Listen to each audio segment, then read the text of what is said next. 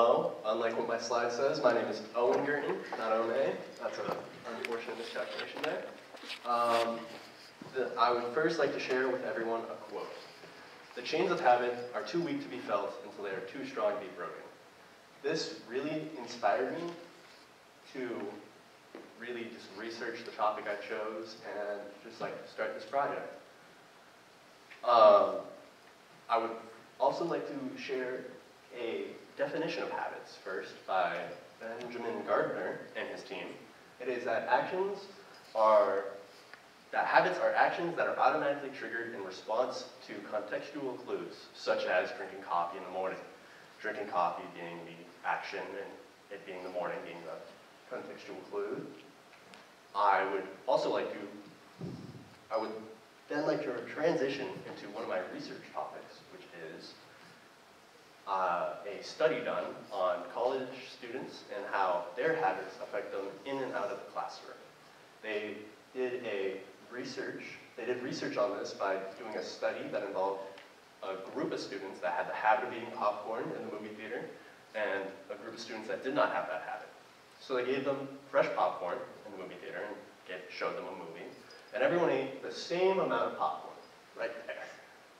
You can see when it was fresh, one bag, one bag.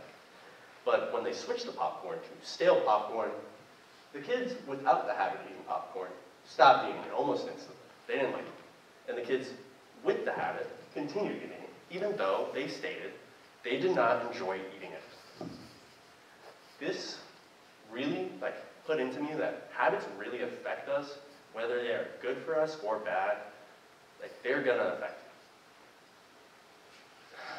This study also brought up how willpower and habits are correlated. Humans are lazy. Brings us up. Humans are lazy. It is bred into us. We will always look for the most simple way to gain excitement and enjoyment, such as scrolling through so social media and things like that.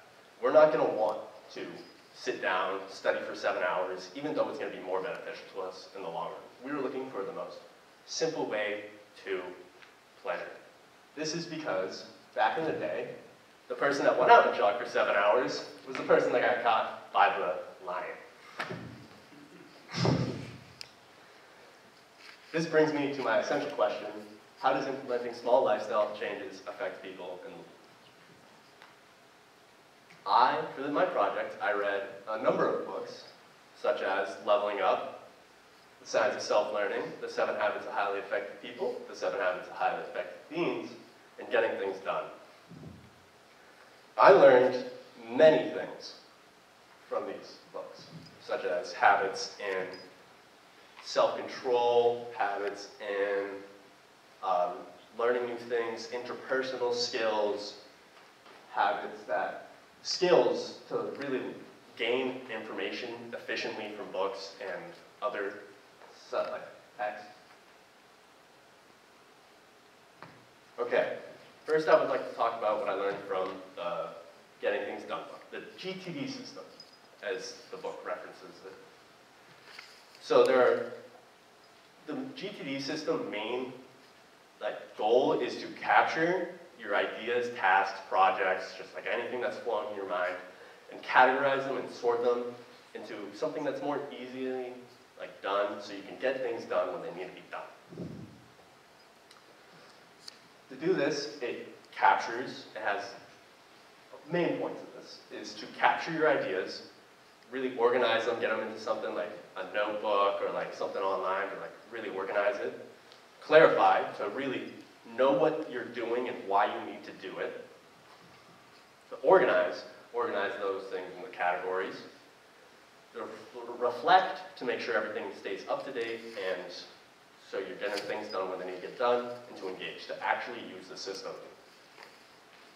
It's really helped me throughout this semester getting stuff done, now I'd like to talk about the seven habits of highly effective people. From this, I learned how to be proactive, to take responsibility for my life and really make sure I'm doing what I want to do and that I'm taking responsibility for the things I have and have not done. to begin with the end in mind, to really make sure that you're focused on what you want to do before you start, like what you want to end up with before you start something. So like say you want to like run a 5K. Before you start training, you want to make sure that you're going to be able to run that 5K. Then to put the first, put first things first, really like clarify what you need to get done first before you actually do anything. And then to set, to think first things first, and then to think win-win. Not everything has to be a competition in life. You don't have to have one person win for the other, for there to be a good outcome, and have another person lose. Like everyone can have a good outcome in every situation, but life's really turned into competition. And then to synergize, to Oh, no, to seek first to understand, then to be understood. Really communicate with people, listen actively, to understand what they're saying, and then put your points in. Don't interrupt. Like, really like understand what they're saying, and then put your perspective on that situation. And then to synergize, collaborate effectively with people, be a team team worker, really like connect with people. And then to sharpen the saw, which is to continuously improve your mind, spirit, and body so you can do whatever you want to do. You don't have to go out and do something else so you can be able to do what you want to do. I would now like to talk about a, an article I read, Good Habits, Bad Habits by Ann. Graybiel. So this really taught me, this article dives into the concept of habits and what they go, what they talk about how they form the brain, how they are actions, they describe them as actions that are automatically like done over time. So like, like I said, the coffee, drinking coffee during the morning. Their habits are controlled by a specific portion of the brain, the basal ganglia, which was brought, which was figured out by this lady. The, everything in red up there is the basal ganglia, and everything in blue is the substructures of the brain that are related to it. It also talks about how habits are difficult to change and are uh, and how there's ongoing research into the neural me mechanisms in habits and how they're controlled and how they function.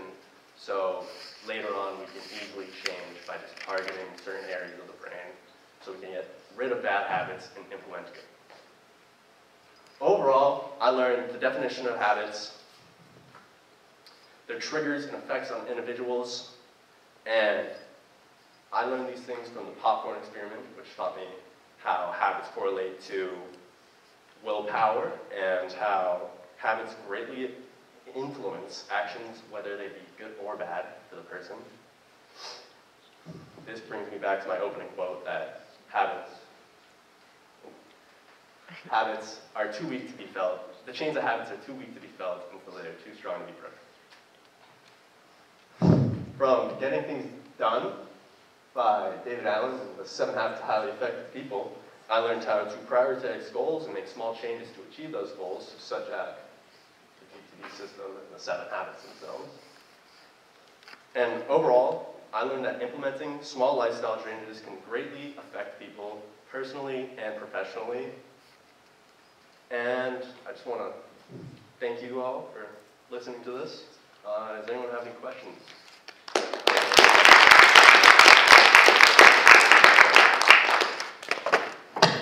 What was the favorite book you read? Definitely.